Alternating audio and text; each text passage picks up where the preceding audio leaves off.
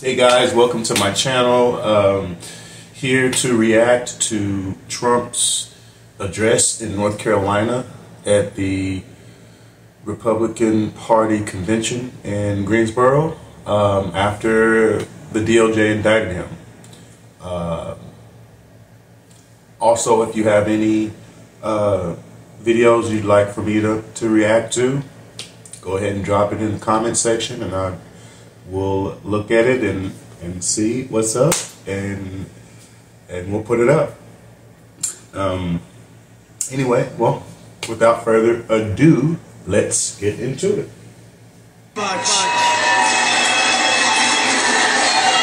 Thank you very much. Great crowd. This is beautiful. I want to thank Michael and congratulations on your re-election as party chairman. That's a big deal. Was a big deal. It's great to be back in North Carolina. Very special place. Very, very special place. We've had tremendous success here. We won it twice. We won the primaries twice. We won the election twice. It was great. Sit down. Come on, let's all be with each other. We have nothing else to do tonight. And a lot of love I want to yous. thank our outstanding NRCC chair.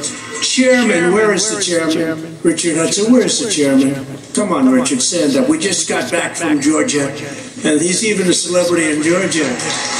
We had a great crowd in Georgia, too. He's fourth in line for speaker, and his wonderful wife Renee is incredible. And uh, she served four years actually in the White House as Kellyanne. Is anyone here of Kellyanne Conway? Nobody, right? She's so fantastic. But I remember Kellyanne.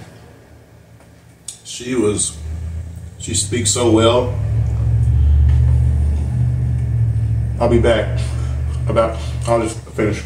Yeah, Kellyanne was just um, early on in administration, especially, or even later on in, in administration, midpoint, is when I started seeing a lot of her on the news in defense of Trump against these crazy narratives that they just kept putting out. So, props to Carrie. Um, what's her name? thank you, and thank the family. The family is fantastic. We appreciate it. Thanks also to one of the great stars of the party, one of the great stars in politics, Lieutenant Governor Mark Robinson.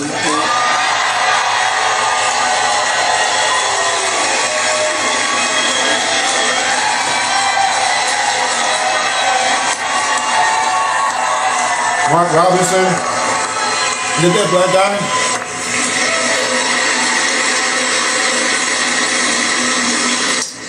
And I'm going to endorse Mark, but I'm not going to tell you about it tonight, okay? Hmm, I think Mark Robinson is that black guy. time. Yeah, but you can count on it, Mark. Congratulations. Great job. You've been doing a fantastic job. We also have some warriors that we fight together with all the time, and we win a lot. We win most of the time.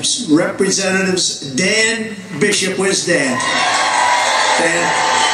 Thank you, Dan. Dan Bishop. I don't know who that is. Thank you, Dan. Thank you very much. Great job. Great job. We love him. Chuck Edwards. Chuck. Chuck. Thank you, Chuck. Thank you. Thank you very much. And State House Speaker Tim Moore. Tim, thank you very much. Great job. Tim's doing a fantastic job. Thank you. For seven years, we've been engaged in an epic struggle to rescue our country from the sinister forces who actually hate it and want to destroy it. I really believe they want to destroy it. There can be no other reason.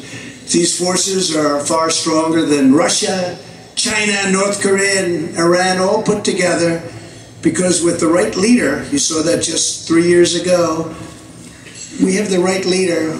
All of those countries are absolutely no threat. They're not any threat to us. We talked about it before.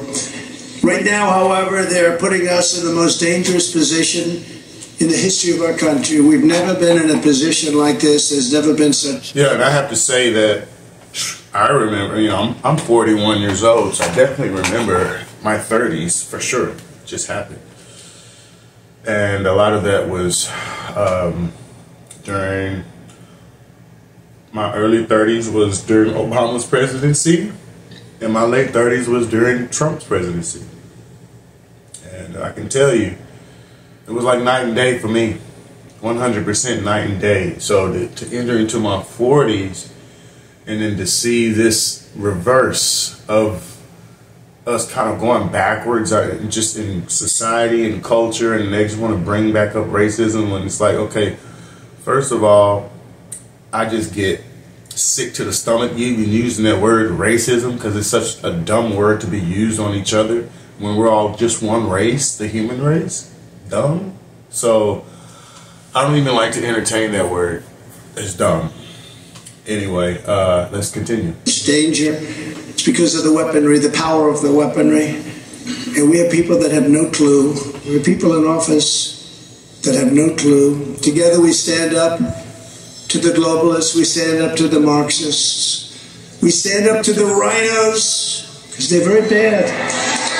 Because you don't know where they're coming from, the, the RINOs, you don't know where they're coming from. We stand up to the communists and the environmental extremists because I'm an environmentalist. I really believe that. We've done some great things for the environment, but you have extremists, and you don't know whether or not they're really serious about some of this stuff. It's not even believable.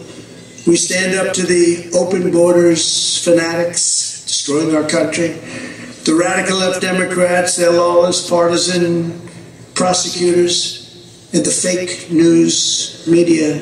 We have a lot of it back there, but not all of that, our That's a big group back there, by the way. Dan, I think they're here for you, maybe. and on November 5th, 2024, we're going to stand up to the corrupt political establishment. We're going to evict a totally corrupt president named Joe Biden from the White House. And we're going to finish the job that we so successfully started. Probably there's been no more important four years than we had. We did a great job, all of us together. Things we did nobody thought were possible. I put everything on the line. I will never yield. I will never be deterred. I will never stop fighting for you. No.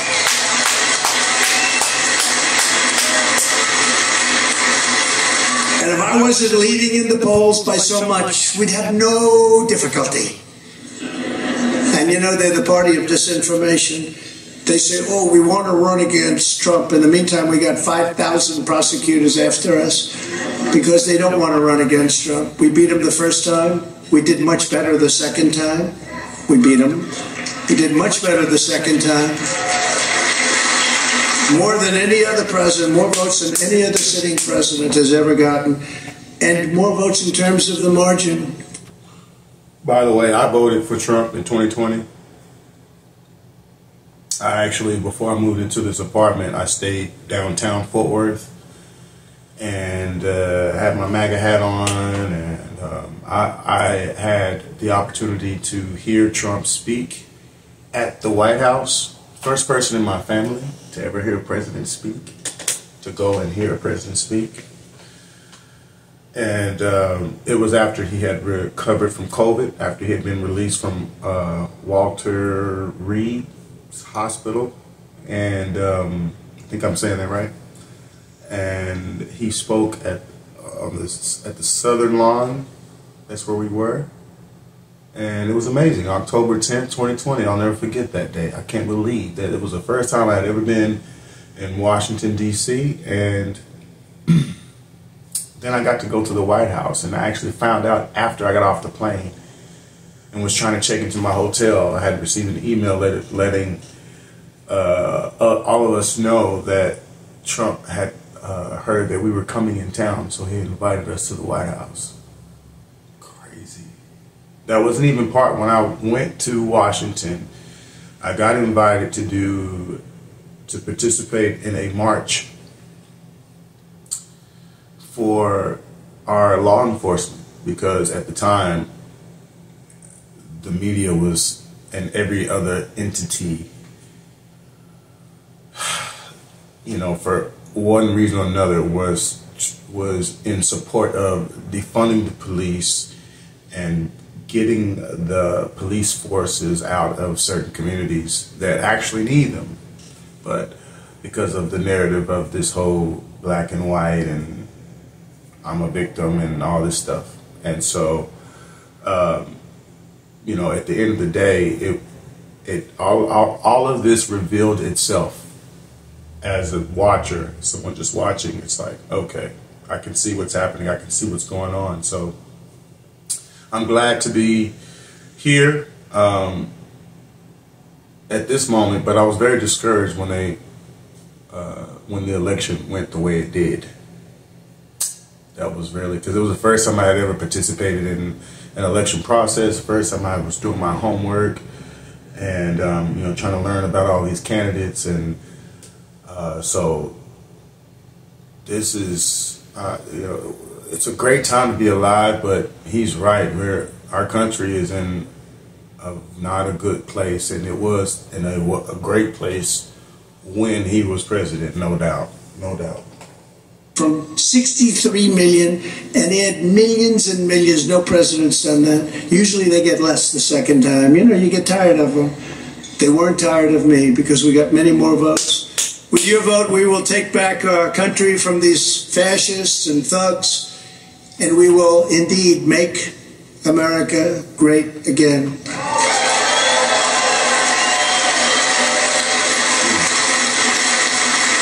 From the beginning, our America First agenda has been an existential threat to the rotten political class that gets rich and powerful at your expense, erasing our borders, cheating like we've never seen before in elections, exporting our jobs and squandering our blood and treasure on endless foreign wars. We didn't start any wars first time in 71 years. Wow. No wars. They all said Trump will get us into Really? a war. He's got that personality. No, it was my personality that kept us out of wars. That's good. That's good.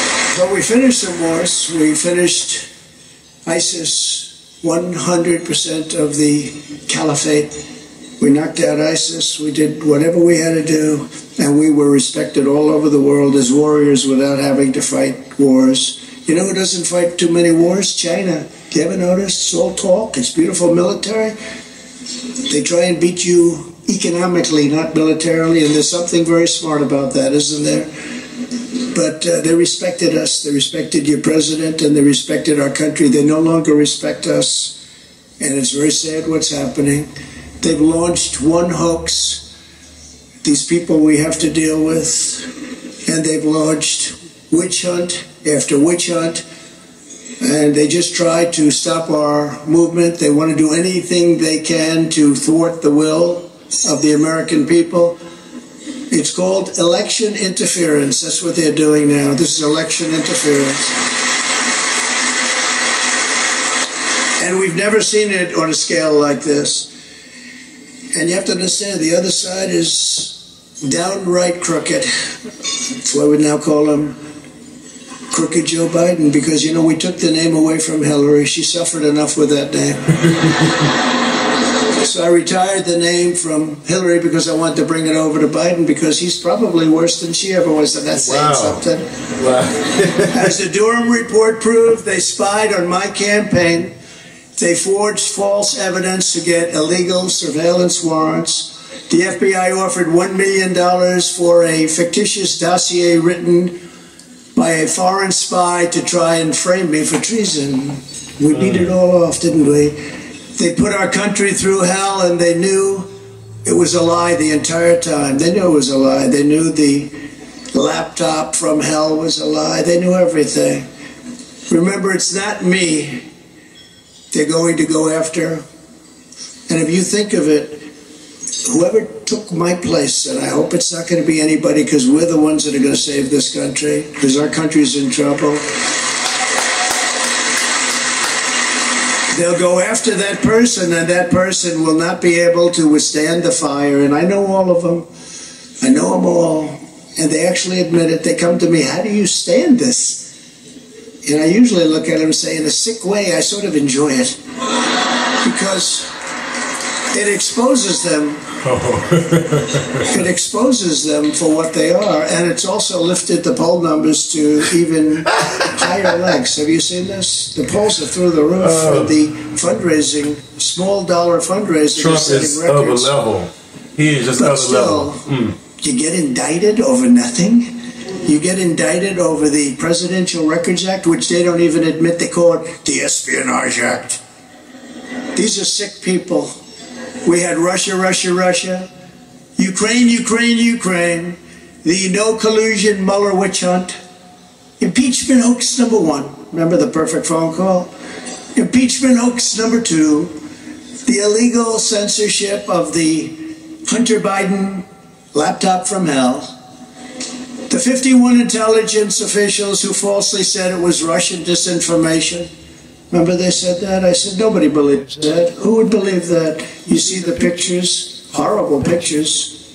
The real pictures haven't been exposed yet. But all of this, and it just kept coming and coming and coming, and it would for another person in my position, but they wouldn't be able to handle it. They wouldn't be able to take it because you're dealing with crazy lunatics now the Marxist left is once again using the same corrupt DOJ and the same corrupt FBI and attorneys general and local district attorneys to interfere in our election at a level that our country has never witnessed before.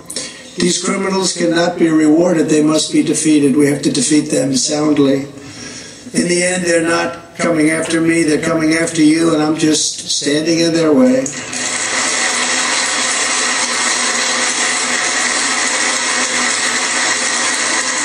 The baseless indictment of me by the Biden administration's weaponized Department of Injustice will go down as among the most horrific abuses of power in the history of our country. I think it already is when you think about it. And certainly going back to Obama, when I said, you know, they spied on my campaign, everybody, including the fake news media back there, they said, oh, that's so crazy. Turned out I was right. I don't know what that um, lady's name is on 60 Minutes. There was because I remember that interview that Trump did with her. Forget her name. He was like, because I can hear him saying her name. Um, but anyway, when he was like, they spied on my campaign, and she was like, they didn't spy. You can't verify that. There's no evidence of that. Forget her name. I can see her eyes too, and just like so now that it's actually the Durham report has come out and it's actually proven. It's just I don't know what it will take to wake everybody up and see what's happening and what's been happening. You know, you look at our neighborhoods. I grew up in a neighborhood that that's been in this mess in the 80s and just the mentality, and it's just like so. I'm honestly, you know, there's there's a lot of emotions evolved uh, involved because, and that has evolved because, you know, you're you're sad at one point and even at, uh, outright depressed at, at one point. Then at another point, you're glad you're free. You're glad that the, the knowledge that you know that you have now that you don't have to keep going down the wrong paths and you don't have to because basically we were born as in a new type of slavery basically. Basically we were born in a new type of slavery and one of the keys that worked in the old slavery uh, to keep people slaves was to keep them ignorant keep them out of the knowing. So you know now that i know i'm so happy that i'm out of there, but at the same time, like I see everybody around me that I love, people that I've gone to church to, uh, church with, and just made family with, still in that. So I just I'm still prayerful to God that all of this, like he said, you know, he, he's actually liking. He's like kind of in a sick way, but it's not in a sick way. It's just like for me, it's not like it's like it's like look, look, look, look at this all coming out. Okay, so can we all come together and let's let's do something? You know, let's let's constitutionally, obviously, and and you know, peacefully. But if we can all make our voice heard together, but it's like still silence. I talked to my mom. We've argued back and forth, and I ain't heard not a single word. This fake administration has been in. Sorry. This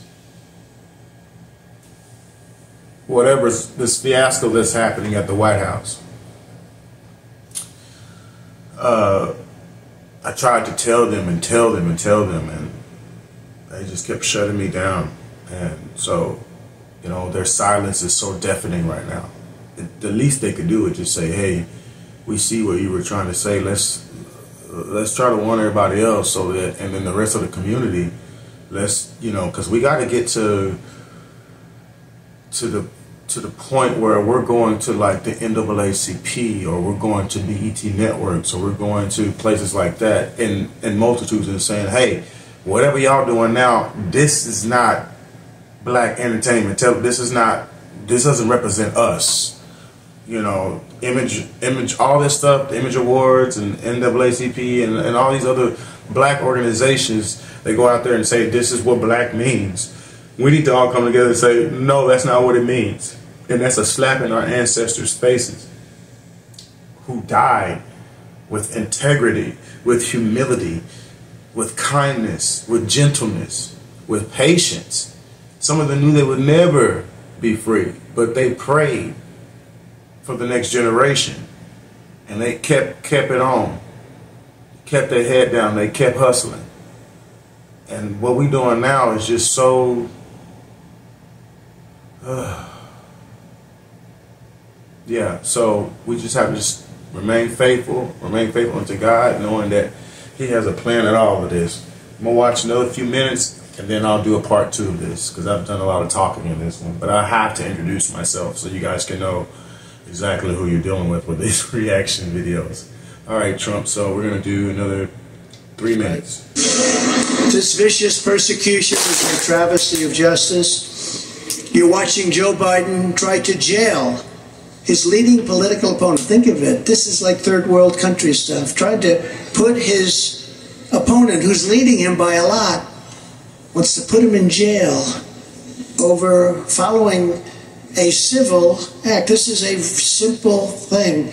The Presidential Records Act, it's all under the Presidential Records Act as it should be. It's all under the Clinton socks case. You know what the Clinton socks case is? That's where they sued Clinton and he ended up winning that he could keep the things that we're talking about. It's all under that, Mr. Congressman. We discussed that before.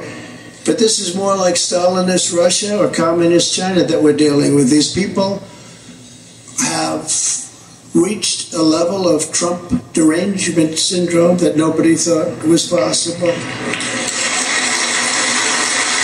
Wow, he said I it. never thought, frankly, that I like this could that. happen in America. You go after a president that got, again, the most votes by far of any sitting president in history, gets out of office. And because I'm running, if I wasn't running, wouldn't even be talking about it. If I weren't leading, we wouldn't be talking about it. But we're leading by a lot. We're leading DeSanctimonious by massive numbers. He's, keep- he's heading south quickly. He's no gonna keep saying personality. He doesn't have a personality to win. He's got no personality. And, you know, But look, like, listen, listen now. Um, I, I guess I, I I didn't come to this realization until I realized, you know, okay, wait a minute, why is Ron DeSantis running?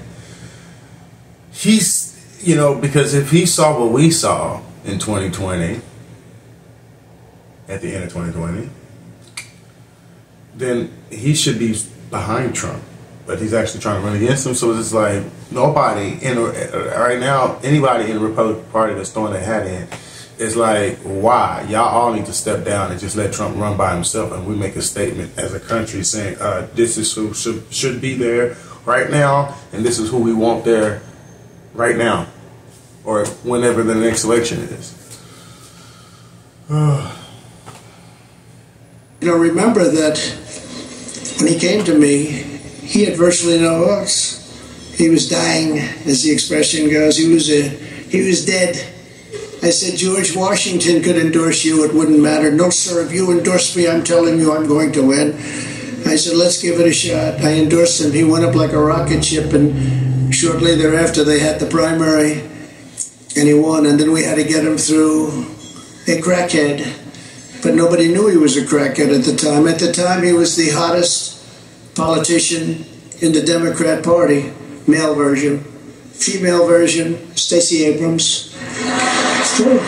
Stacey Abrams and him. And but he was hard to beat. And Ron said to me, uh, "I don't think I can beat him." I said, "You beat him. You beat him." And I did three rallies, massive, massive, massive rallies, thousands and thousands of people. And I said, "You're going to win." And he ended up winning. And then they started cheating at the end. Do you remember all the votes were disappearing over days? Oh, my 10,000 here. Rick Scott, same thing. And I called in, you wouldn't believe it, the FBI. Would you believe it? And it stopped. So at least they did something right. But I got him in. And then they said to him, I said, Congratulations, Ron. I didn't know him that well. He was one of the many people that supported me during, the impeachment hoaxes. So I'd see him on television a little bit, but I didn't know him well. Then I heard three years later they said, Would you run against the president? And he said, I have no comment. That means he's going to run. I said, I got this guy in, Mr. Congressman. And he said he's going to run. And then I haven't been very nice to him since then. We're leading in Florida by 28 points. And people are not happy with him. And he's a lousy campaigner. Remember that when he came to see me, he had almost no points. He was ready to look for a new career. You told me that better than anybody. He was looking for a job. And when I endorsed him, it was like magic. It was like he was a rocket ship. But I believe in loyalty. And, you know, it's just very disloyal. If somebody Right. got me into office, and I got him in, you know, some people I help. Some people I help, and some people I get. And I got this guy in along with some others. But some people I help, and that's different. Some people I, I help a little bit, some people I help a lot, but some people I get in. I got this guy in. So, you know, you think there'd be a little bit of a loyalty. And it's bad for the Republican Party, frankly, but let's see what happens. But we're leading by a lot. But meanwhile, Joe Biden had troves and troves, thousands of boxes, classified documents from his time as vice president and even as a senator. And boy, when you're a senator and you take classified documents, that's a big deal. I watched Dick Durbin get so angry about it. I said, well, he'll be brought back into the fold eventually. So what? So so you mean to tell me? I don't know. If, you know, he's saying it. You know, and I'm obviously, you know, it, it doesn't seem like the news is going to check into what he was saying, what he's saying as far as um, Joe Biden, Joe Biden being a senator and taking classified documents with him. So, you know, um, I don't know, you know, how they're going to go about doing that, but I will stop the video here. Thanks for watching. Thanks for participating. If you have any comments, please leave it in the comment section. I will definitely look and I will respond. Um, also, if you have any suggestions for uh, videos for me to, to check out, put it down there and let me know. Uh, I will catch you in the next video. Thanks for watching. Ah. Great, I'm done.